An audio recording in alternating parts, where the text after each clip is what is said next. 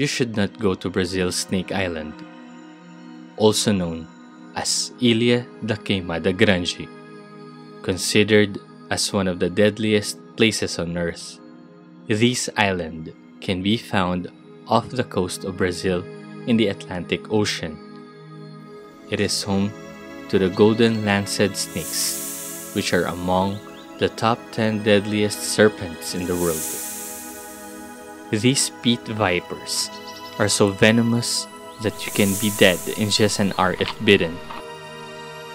People were reportedly screaming in pain minutes before they died.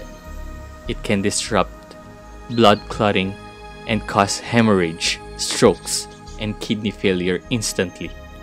This venom can melt human flesh. On the brighter side, this critically endangered viper is responsible for life saving medications. A popular medicine for high blood pressure called Captopril is a drug class built of toxins from lancehead vipers.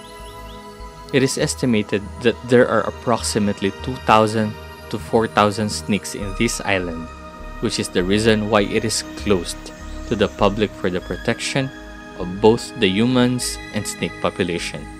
This island is guarded and monitored by Brazilian Navy, and only scientists are allowed to set foot in this place. It was called Snake Island for a reason. There is one snake to every square meter in the entire land area, the highest concentration of venomous snakes in the world. The lancehead vipers are only found in the Snake Island in Brazil, thus, they are labeled critically endangered.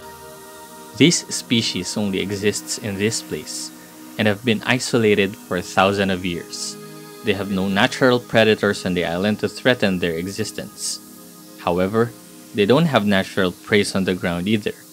That is why they only rely to migratory birds that pass the island to rest. However, there is a problem to this food chain.